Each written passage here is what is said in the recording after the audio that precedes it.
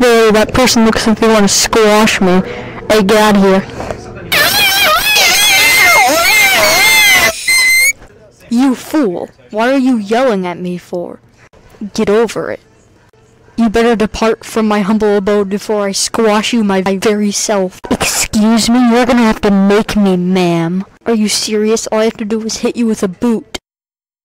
Really? Better stop speaking before I make all your food not edible. Not even your couch will be edible. So you're the one who has to leave, because this is my home now. Get out of here. I'm done. Wow. I guess I'll leave my own home then, because a tiny idiotic creature. What? I'm a child. I'm a child. The first smart thing you said today. Okay, I'm leaving now, alright? Well, everybody, that's how you get a house. Goodbye.